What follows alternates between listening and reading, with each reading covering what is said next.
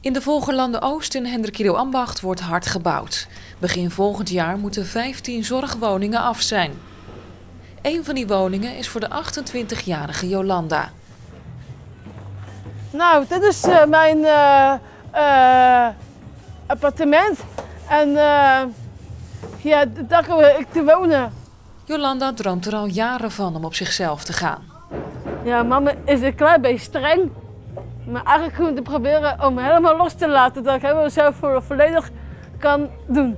En het volgende gat is van waar de woonkamer komt. Het was de moeder van Jolanda die tien jaar geleden kwam met het plan voor deze zorgwoningen.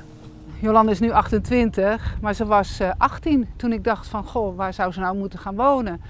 En uh, destijds waren het traditionele gezinsvervangende tehuizen waar uh, mensen woonden. Hadden ze alleen een slaapkamer en een, en een, gezamenlijke woonkamer en zo. En ik wilde eigenlijk, ik had ook gehoord van ouderinitiatieven. Dat ben ik gaan bestuderen en dat zag er zo mooi uit. Ook bij andere ouders sloeg het idee aan. Maar het vinden van een geschikte locatie en een woningbouwcoöperatie die wilde bouwen viel niet mee. En, en uiteindelijk het toch voor elkaar te krijgen, het is gewoon geweldig. Weet je, ik sta hier echt te glimmen van dat dat na tien jaar toch gebeurd is. Dat is gewoon uh, helemaal super. Leuk hè? Ja, ik vind het hartstikke is nou leuk. je huis. Eindelijk! 12 van de 15 woningen zijn inmiddels bezet. De bewoners betalen straks huur vanuit hun persoonsgebonden budget.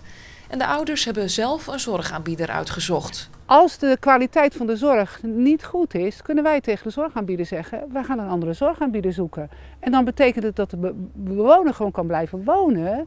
Dat is bij een zorginstelling traditioneel niet zo. Voor moeder en dochter zal het wel even wennen zijn. Het is ook nog een beetje eng hoor.